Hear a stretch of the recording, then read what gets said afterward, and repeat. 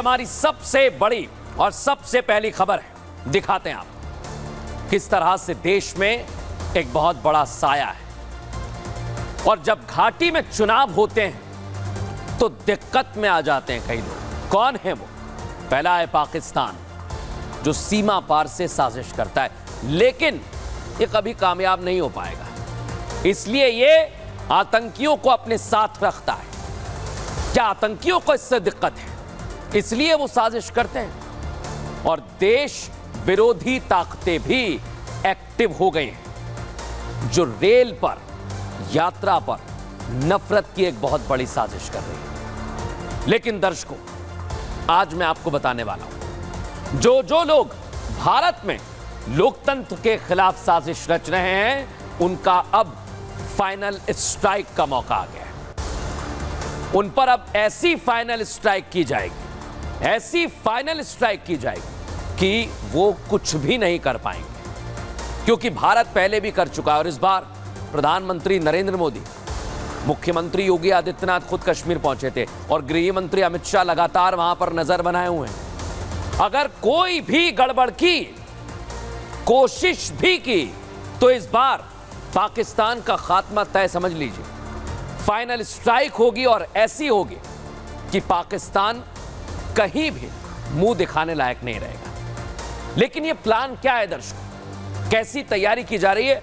इसकी x ray report आपको बता दो। जम्मू कश्मीर में 10 साल बाद चुनाव हो रहे हैं दर्शक दशक बाद और इन चुनावों में अपनी सरकार को चुनने के लिए जम्मू कश्मीर की आवाम पहले चरण में अच्छी खासी तादाद में बाहर निकली। इकसठ प्रतिशत मतदान हुआ है दर्शकों। यही शांति और घाटी का माहौल लोगों का घर से निकलकर वोट करना आतंकियों को पसंद नहीं आ रहा है। पड़ोसी देश पाकिस्तान को हिंदुस्तान में अमन चैन से चुनाव समाप्ति की ओर बढ़ते हुए पेट में दर्द होने लगता है। उन्हें पसंद नहीं आ रहा है। घाटी में चुनाव पर आतंकी नज़र जमाए बैठे हैं दर्शक। मौका तलाश रहे हैं। लेकिन देश की सेना हर बुरी नज़र से लड़ने के लिए सीमा पर तैनात है। आपकी और हमारी सुरक्षा के लिए। 25 सितंबर को 26 सीटों पर होने वाले चुनाव के लिए सरकार और सेना हर जवाब के लिए पूरी तरह तैयार है। इसलिए मैं कह रहा हूँ, फाइनल स्ट्राइक।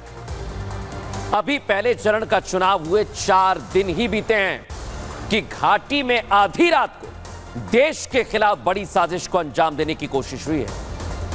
देश में पुंछ की तरफ़ से घुसपैठ हुई है। यह आतंकिस्तान घुसपैठ कर रहा है। सोचिए दर्शकों, एक पाकिस्तानी नागरिक जम्मू कश्मीर में कृष्णा घाटी सेक्टर की तरफ़ से देश की सीमाओं को लांघते हुए भारत में घुस गया। सोचिए आप, तस्वीर आपको दिखा रहा हूँ। जिसे भारतीय जवानों ने अपने मंसूबों में कामयाब होने से पहले ही पकड़ लिया है। और इस बीच पाकिस्तान में बैठे उसके आकाओं ने भारत के खिलाफ एक बड़ी साजिश को अंजाम देने की हिमाकत की है। चुनाव से ठीक तीन दिन पहले बड़ी मात्रा में क्या हुआ है दर्शकों, देख लीजिए। हथियार, गोला बारूद बीएसएफ ने बरामद किए आपकी सुरक्षा में तैनात ये पाकिस्तान से भेजे गए और इसलिए मैं कह रहा हूँ, घाटी में चुनाव है तो आतंकियों के पेट में दर्द होता है।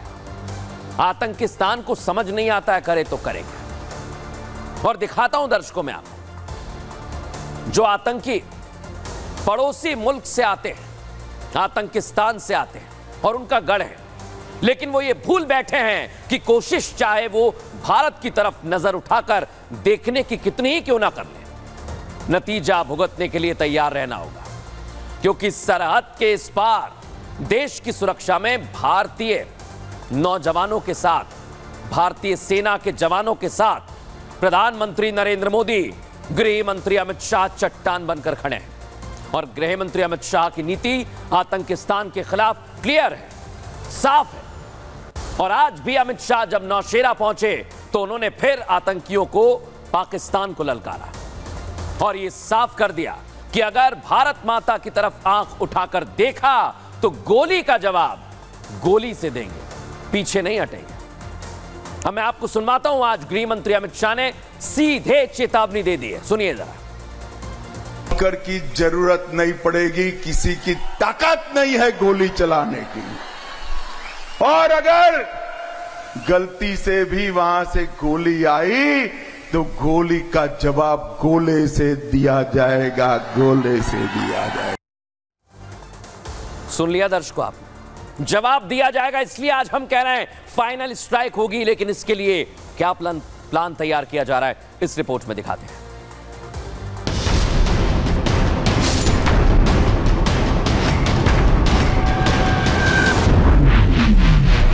आज से ठीक आठ साल पहले महीना यही था और तारीख भी आसपास की ही थी।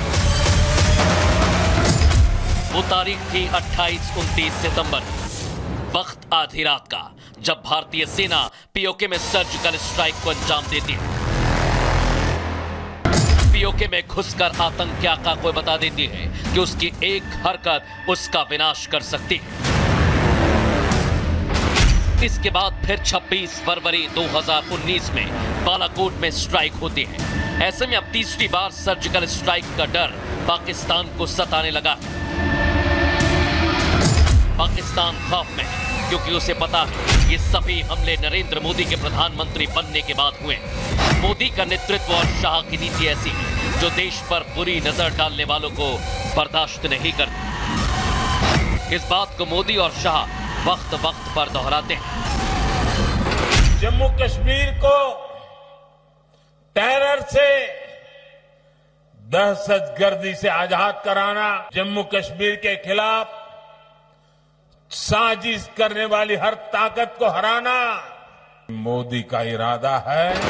आतंकी और उनके आका ये जानते हैं कि पीएम मोदी की ज़ुबान से निकले इन शब्दों के मायने आखिर क्या इस पर नौशेरा में आज अमित शाह का आतंकवादियों को ललकारना बहुत बड़ा संदेश दे रहा है। आतंकियों के मंसूबों को पस्त कर रहा है। गलती से भी वहाँ से गोली आई तो गोली का जवाब गोले से दिया जाएगा गोले से। देश की सुरक्षा के स्मरण में उत्तर प्रदेश के मुख्यमंत्री योगी आदित्यनाथ ने भी मोर्चा संभाल लिया। वो कह रहे हैं कि आतंकवाद को संरक्षण देने वाले एक एक देश विरोधी का चुन चुन कर सफाया किया जाएगा। कश्मीर में धारा 370 को हमेशा के लिए समाप्त करके आतंकवाद की ताबूत पर अंतिम कील ठोकने का काम किया है। आतंकवाद अपनी अंतिम सांस ले रहा है। मोदी, शाह और योगी की आतंकियों के सफ़ाई की नीति पाकिस्तान के हलक के नीचे नहीं उतर रही। ऐसे में आदत से मजबूर पाकिस्तान गड़बड़ी फैलाने का कोई मौका नहीं छोड़ना चाहता। लेकिन पाकिस्तान को यह भी अच्छी तरह से पता है कि अगर आतंकी हमले किए गए तो फिर से सर्जिकल स्ट्राइक के लिए तैयार रहना होगा। देख लिया दर्शकों